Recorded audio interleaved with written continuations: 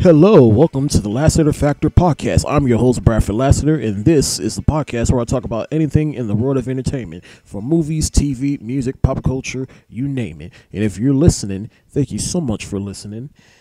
Now, for this first episode of the podcast, I just wanted to use this first episode to introduce myself so that y'all know who I am and just get a glimpse into my world and who I am as a person so that you know where I'm coming from whenever I give my opinions and what you can expect moving forward with this podcast. The number one thing you should know about me is I love movies. Ever since I was a young child, I grew up loving movies. I loved watching movies. Now, there are four movies that I love. There are, there are my four favorite movies of all time that I love for different reasons. Number one being the Disney animated classic, The Lion King. Now, no words can explain how much that movie means to me. I love that movie. It's one of my favorite animated films of all time. Actually, my my num my number one favorite animated film of all time. I vividly remember my mom. My earliest childhood memory is of my mom taking me to the movie theater to go see The Lion King in theaters. I vividly remember that, and I still have the VHS to this day.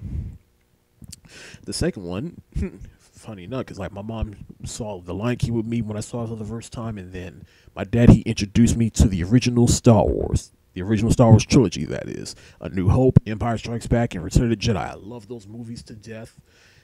I love those movies because it just I it, it pretty much inspired me from a creative standpoint. It just inspired me to just create stories that don't necessarily have to be true or you know just just to create stories and but the but the one movie that I love that pretty much wanted me to, to get into filmmaking in front of and behind the camera was Sam Raimi's original Spider-Man movie starring Tobey Maguire. I remember my dad, he took me to the midnight premiere of that movie on my 11th birthday, and I had just been memorized with that movie ever since.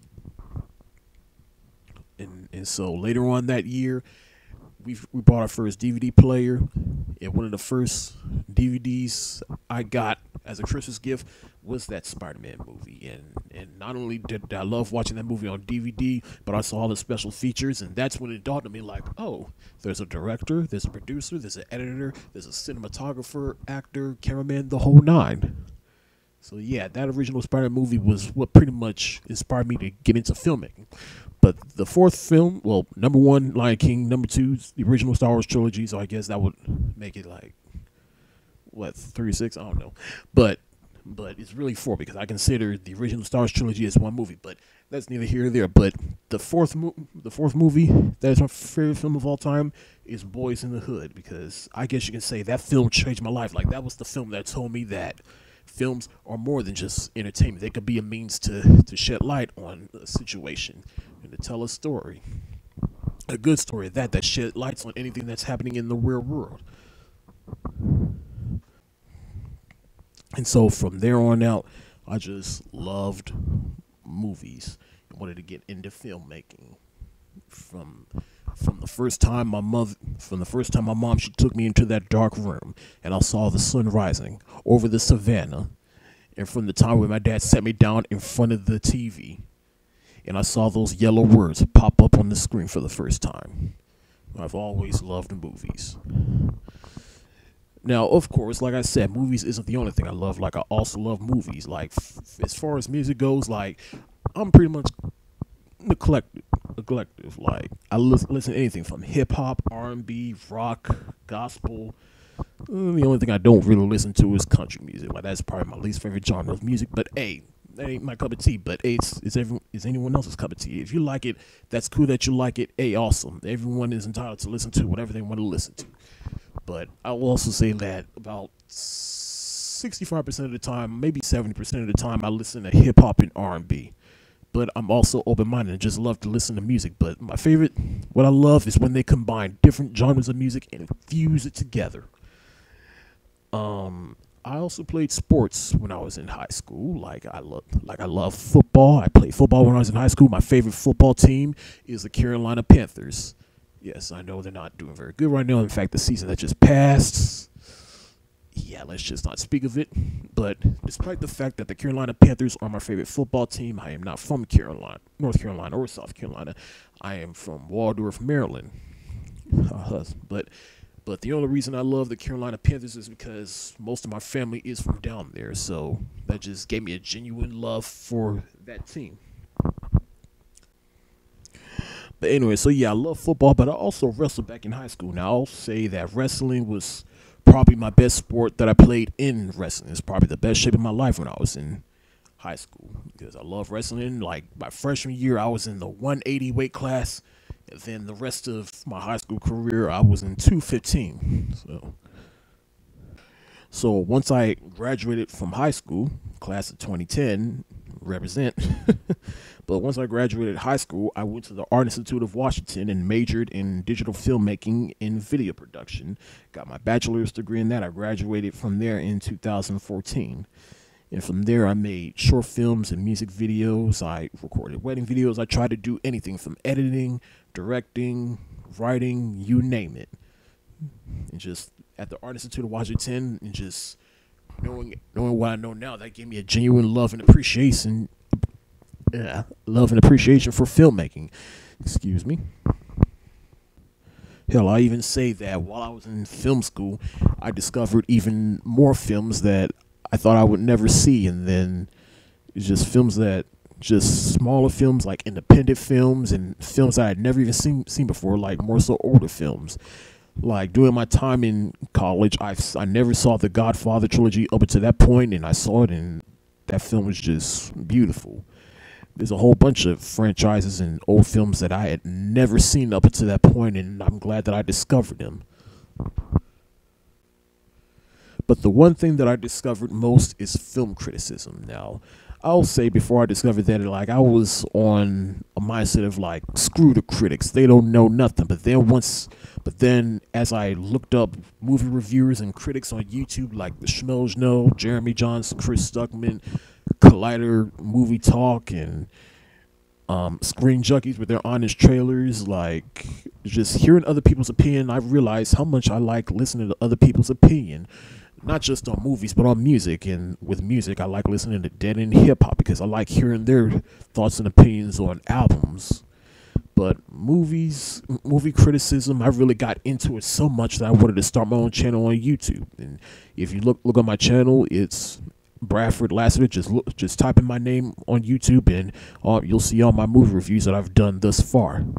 But I really had a real big fascination with movie reviews because I don't know. There's just something about listening to other people talk about movies because it's like when they share their share their love of movies and you share your love of movies, that just brings a whole new community together. It's just everyone has something in common. They just have that one thing, and that is film, because you all have a love for film in some way or another. But back to my YouTube channel real quick. So yeah, I've done movie reviews and you can see all of my directorial and editing work on there as well. But I've done movie reviews from films from 2013 on to now. Though I will say if you have the last movie review I did was of Spider-Man Homecoming. That's because, you know, I'm taking a slight little hiatus from my channel because well, one is like is like one i wanted to start this podcast is I, want, I really wanted to start something new. I really needed a new start. Now don't worry my channel will still be up and i will be bringing up some new reviews. Like trust me if anyone who's seen my channel know that i love star wars all the marvel cinematic universe movies. And trust me like whenever when star wars the last jedi comes out best believe i will do a review of that. And when thor ragnarok comes out i will do a review of that. And even the dc extended universe movies i've done reviews for that. Like i did the did a review for wonder woman. So best believe I will do a review of Justice League when that comes out. And I'm really, really, really curious to see how that movie comes out because given everything that DC's done, given everything with DC lately, like I'll talk more about them later, but I'm really hoping that Justice League turns rights the ship for um, the DC extended universe.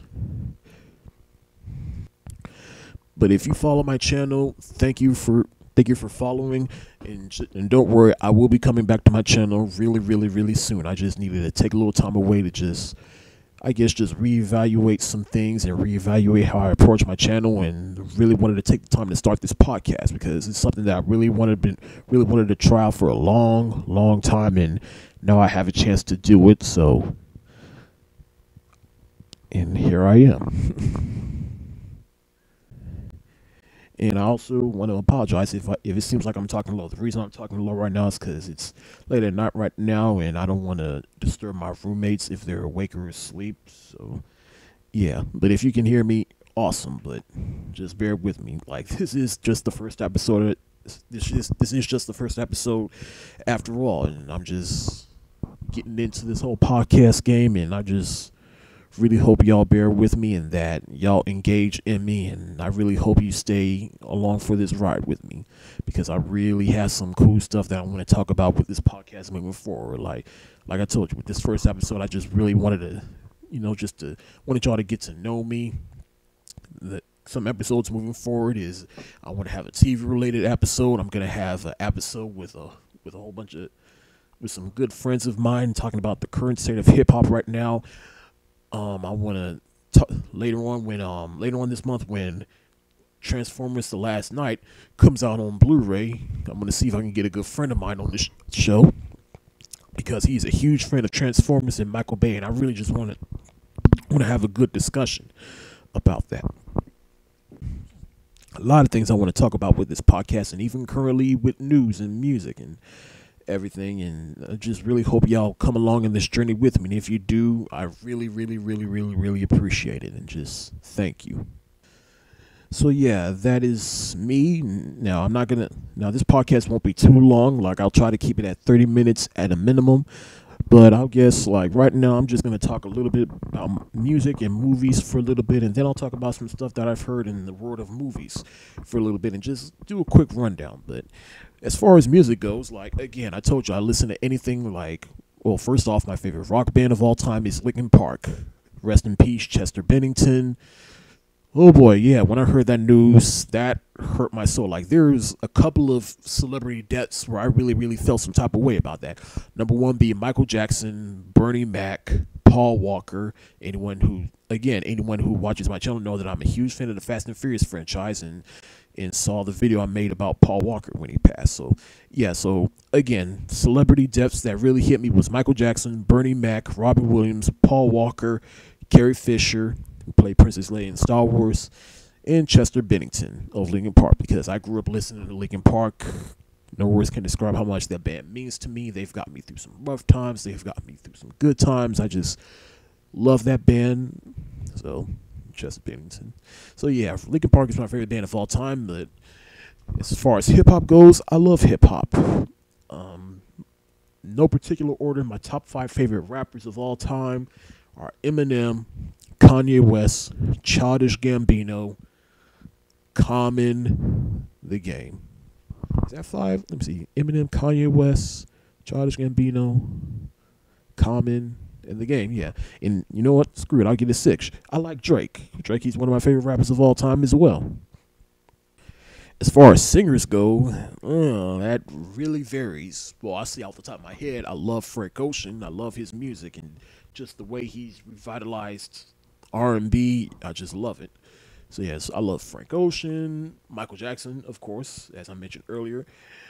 Um, see who else I listen to as far as singers go. Um, wow, those are all I can. Re- I really do listen to a lot of singers. It's just wow. It's just I mainly like hip hop and rap because is what I grew up with. Is what I I guess you could say is what I resonate with more. Now, even though I listen to hip hop, R and B, rock, gospel, and all that, I also like listening to to film scores for movies, like soundtracks. Like some of my favorite film composers are Hans Zimmer. You might know him. He made the themes for Batman, The Dark Knight, I mean, not Batman, but like The Dark Knight, Man of Steel. That Man of Steel theme, whoo, gives, gives me chills every time I listen to it. Um, he did the soundtrack for The Lion King, of course. Um, he's done multiple movies for Christopher Nolan. He's done mul- he's done music for multiple Christopher Nolan movies. Um, let's see who else. I love John Williams, of course. He's done music for Harry Potter, Star Wars, E.T., Indiana Jones, the original Superman theme um, Steve Jablonsky, who's done music for Transformers. I think his music kicks ass. Um, I listen to a lot of f- film composers because, again, I told you, like, I'm very open minded about music. I like to listen to anything, even orchestra music from movies, you know? Now I do listen to gospel music, you know, because I did grow up going going to church, so I I do know a fair amount of gospel music. And funny enough, I say I grew up going to church. I say that as I just cursed uh, just a second ago, but you know, I, not all Christians are perfect, you know. But I feel like you know, as long as you got God, and that's all that really that's all that really matters, you know. You know, I feel like I am a Christian, but I'm not a perfect Christian. You know, Lord knows I've never been a saint, but you know, I try to do the right thing, you know. But as far as gospel music goes, I love Kirk Franklin, John P. Kee, Ron Kenoly, Mary Mary. Um, yeah, you know. Now enough about music. Let's go back to the movies. So now I told you my my number one love other than well, my number one love other than God and family is movies. Like I love movies because they just it's a chance for you to escape and not only that, if you love movies enough, you want to try to do it yourself and you try to create your own stories. Like I remember when I was younger, I'd take all my toys and action figures and just pretend like I'm making a movie and try to make my own stories. And that right there was that's when it dawned on me like I want to be a screenwriter. So I have a couple of screenplays that I have written up and have saved for years and right now I'm at a point in my life where or like I'm just want to isolate myself from the world and just sit there and just create and just write. And I really am trying. Now let's just talk about the different genres in movies and one of my favorite films within that genre, like action. Like again, like I told you, one of my favorite like um I told you I love the Fast and Furious franchise. I've done reviews of all those movies, like Fast Five is my favorite of all the Fast and Furious movies. As far as other action films go, I like the Die Hard movies. Um, I love, even though it is a sci-fi movie, I do consider it an action movie, and I love Terminator 2: Judgment Day. Not only a good sci-fi movie, but the best within the Terminator franchise. The three films that follow after it, you just pretend like those don't exist. Um, let's see what other what other action films do I love? Like I love Robert Rodriguez's um Machete, Machete Kills. Just gonna pretend like that doesn't exist, but I love Machete. The first one, Danny Trejo, I love him in that film. I love the Mad Max films, especially Mad Max Fury Road. That was one of my favorite films of 2015. The Matrix, sci-fi action film. I love that film. Um, Aliens again, even though it's a sci-fi film, I consider that an action film. Shout out to James Cameron for that. Oh, another one of my favorite action films of all time, the Bad Boys movies. And, you know, I just heard that they canceled Bad Boys 3. I don't know what's the deal with that, but I'm really mad about that. They should get Michael Bay for that. So, you know, I like the Jason Bourne movies. I like Kingsman, the Secret Service. I can't wait for Kingsman, the Golden Circle. I can't wait for that to come out. Let's talk about comedies. My, I will tell you right now, straight up, my favorite comedy of all time is the first Hangover. I remember I saw that with one of my old friends when I was a teenager.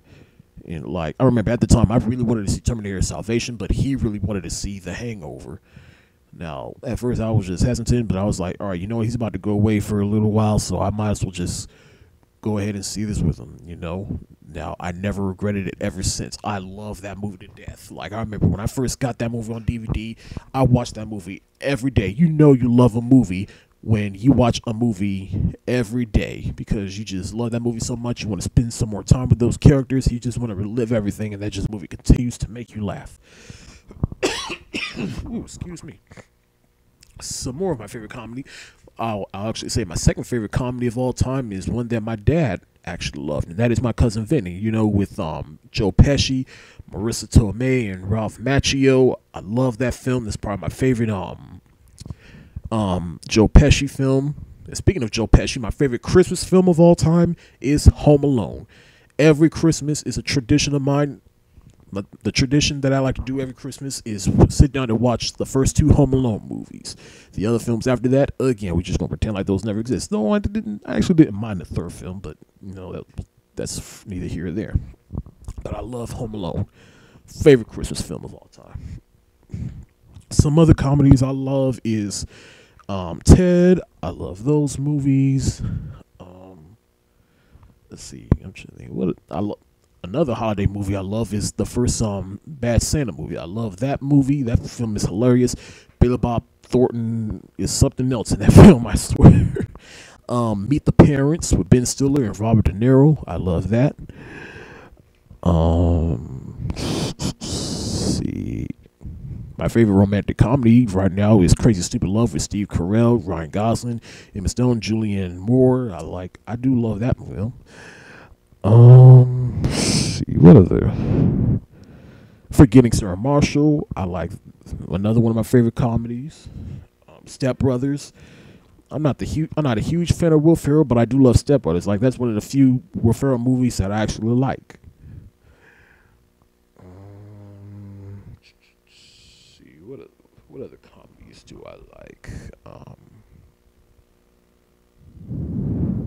right now, I'm just looking at my um, Blu-ray and DVD collection and see what movies I have. Um, oh, Coming to America, my favorite Eddie Mur- Murphy film of all time. Knocked Up, my favorite Seth Rogen film. So that's all I can think of for um, comedy. Ooh, animated films. I love me some good animated films. Like I already mentioned earlier, I love The Lion King. That's one of my favorite animated films of all time. But I do like other animated films. Like, to me, a criminally underappreciated animated film is one of DreamWorks' earlier films, and that is The Prince of Egypt. I swear that movie is not as celebrated as much as it should be. Yo, if you haven't seen The Prince of Egypt, go see that. That is a great film right there speaking of DreamWorks, I do like the Shrek movies. I like um, the Kung Fu Panda movies. Some other films I love from Disney. Um, from Disney, again, I mentioned Lion King is my favorite anime film, let alone favorite Disney film. But the other Disney films I love are Aladdin, Be- Beauty and the Beast, Hunchback of Notre Dame, Hercules, Mulan, Little Mermaid, Pocahontas, Hercules. Like all the Disney movies that came out during the 90s is my favorite era of Disney, which is called the Disney Renaissance. I love all those movies. That's my favorite era of Disney. And of course, also part of that era is the Pixar films, which I also love. Like I love the Toy Story trilogy, um, The Incredibles, Finding Nemo. I, I didn't mind Finding Dory. Um, see, Inside Out. Whew. Talk about a tear tearjerker right there. Inside Out. Wow. Um, see what other Pixar films are there? Um, A Bug's Life, another criminally underappreciated animated film, in my opinion. That's A Bug's Life. I I rewatched that film today. I mean, not today, but yesterday. Yo, if A Bug's Life is a brilliant film that people get, then people give it credit for. So, yeah. Um, I like the Jungle Book, both the animated and the live action version. Um, An American Tale. um, I like that movie. Yeah. Let's see what other animated films do I like? Um,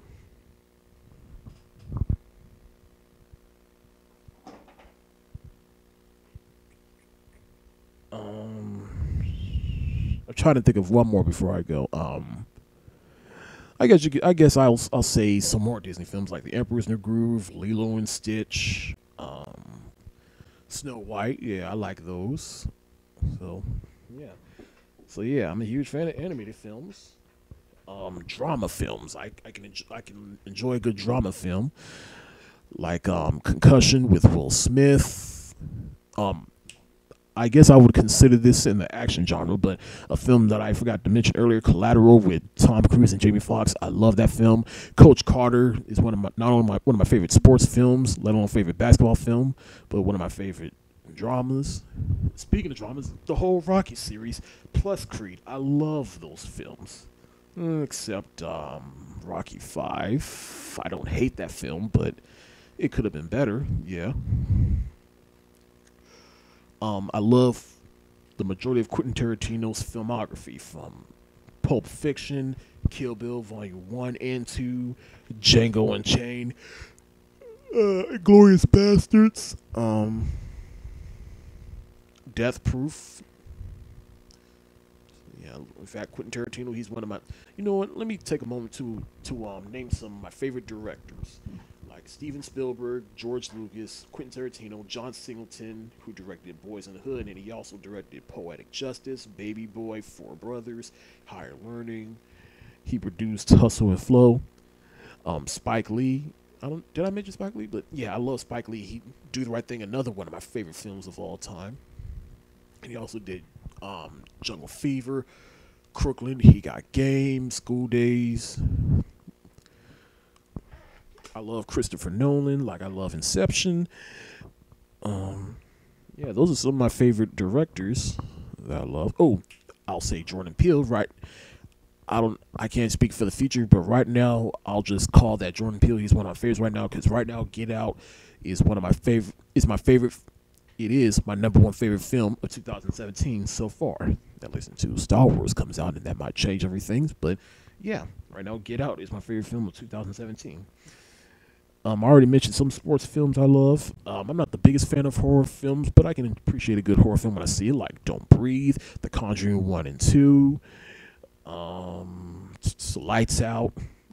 I love horror movie monsters like Jason Voorhees from the Friday the 13th movies, Freddy Krueger from the Nightmare on Elm Street movies, Chucky from the Child's Play movies. Um, I like the Final Des- the Final Destination movies. Those are some guilty pleasure movies of mine. Silence of the Lambs, good one. Um, fantasy films I love. Like I love the Harry Potter series. I have the books and I have the movies. I love the Lord of the Rings and the Hobbit movies. They're all right. Um, see, those are the only fantasy movies I can think of. um, right now, musicals is I probably say is my least favorite genre. Like I've seen La La Land. I actually like La La Land, but you know I do. Is it overhyped? Yes, but I'll say. what I'll say my my favorite musical of all time is actually Dreamgirls. Oddly, like there's no I can't explain it, but Dream it, it, Dreamgirls is just such a brilliant film with great music, great acting, and just a great story. Just if you follow my ch- follow my YouTube channel, I'll probably do a review of it one day. But yeah. And of course, um, my number one favorite genre of movies is comic book films because yeah, the original Spider-Man film that's what got me into filmmaking. So I love the original Spider-Man trilogy. Yes, even Spider-Man 3. I like that movie despite its flaws. I even recognize its flaws. Um, of course, the Marvel Cinematic Universe with the Iron Man movies, the Thor movies, the Captain America movies, Captain America Civil War being my favorite MCU film. Of course, we got the Avengers and Avengers, Avengers Age of Ultron. Um, who else? The Guardians of the Galaxy, Ant Man, the Hulk. I really can't wait to see um Black Panther. I'm I just can't wait. I just need that movie to come out already, yo. Um. So yeah, the, MCU movies, and of course the X Men movies. I love those films. Logan, another one of my favorite films of this year. And of course, we got the DC films. Like I really, you know, say what you will about the DCEU, but they've given it a good swing, and they've done, done some good films like the Dark Knight trilogy, Batman Begins, The Dark Knight, and Dark Knight Rises. I love one of my favorite trilogies of all time. Um, the earlier Batman films, minus the Shoe, the Joel Schumacher Batman films, Batman Forever, and Batman and Robin. Oh yeah, especially Batman and Robin. That movie was shit, complete utter shit. um. So yeah, what else is it? Oh yeah, the DCEU like um Wonder Woman, another one of my favorite films of this year so far. Um, what else? Oh, Batman vs Superman. Yeah, despite my, I prefer the ultimate cut of that film. Man of Steel. It's actually not a bad film that people get a credit for. Suicide Squad, yeah, probably the most polarizing film of all the DCEU films, but I liked it for what it was. Could have been better, yeah. Um, so, um, oh, some sci-fi films. I already mentioned I like um Star Wars, one of my favorite films of all time. Even the prequels, yes, but Revenge of the Sith is my favorite of the prequels. But um, some other sci-fi films or franchises that I like is the Alien movies. Um, I just I just had one in my head. Um, Species, a, another guilty pleasure film of mine. I like. I'm not. I didn't really grow up watching Star Trek, but I do like the recent Star Trek films, like the the two J.J. Abrams films and Star Trek Beyond, which came out last year. Um, I get a kick out of the Transformers films every now and then. Yes, even the shittier ones, but I will say that until Michael Bay leaves, I don't really want to see another Transformers movie. Um, I like the Hunger Games movies. The Fly. Yo, up until last year, I had never seen The Fly with Jeff Goldblum. When I saw it, I was like, yo, that movie was freaking great. um, the Terminator movies. Yeah. Yeah. Before I go, I just wanted to I guess give a quick rundown on some things I've heard in the in the news as far as movies go. Um, like for example, for example, like Ed Skrein, who you all remember, who played Ajax in Deadpool. Um, he quit um a role in the in the Hellboy remake or reboot, whatever you want to call it, because because of whitewashing. Now that was a noble move on his part. I will give him credit for that because you know after the whole Ghost in the Shell fiasco with Scarlett Johansson and you know, and gossip. Like right now, how I stand with um, whitewashing in Hollywood is really getting out of hand. Yes, I understand. Like they've been doing that for decades, even going back to the days of what um, what was it, Ten Commandments or um, Lawrence of Arabia or Ben Hur came out. They were whitewashing, but now it's like you know we live in a progressive world, so like there needs to be some type of change. And so I'm just glad to see that, see actors like Ed Skrein like saying like, no, this needs to stop. We need to move forward and we and we need and if you're gonna have characters like this you need to some cast someone who is appropriate for that role so i so hands hands down to ed skrein for that um the fact that they are making a second joker mm, uh, that's just has a whole bunch of wheels turning in my head because like just when I just my faith in DC was restored, and then this is like I don't know what they are doing at Warner Brothers in DC, but again, like I just hope this Justice League. I just really need this Justice League movie to be good because once that's good, okay, I can. That'll give me that'll give me pause, and I can take a good breath of fresh air. Like okay, I know where we're going with the DCEU.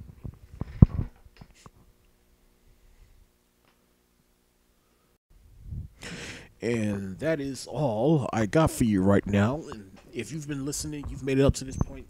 Thank you so much for listening, and thank you, thank you for listening. And I hope you learned a lot by me. And I told you, like, expect for some some good episodes coming in the not too distant future. Like, I'm really excited for this podcast, and I just really hope you come on this journey with me, and that this pod and this podcast well this podcast is like a hobby to me and, and if you come along with me i promise you i will make this the best podcast as possible thank you so much for listening and you can find me on all social medias like facebook twitter instagram snapchat just at bradford lassiter. Thank you so much for listening. I'm your host bradford lassiter and this is the lassiter factor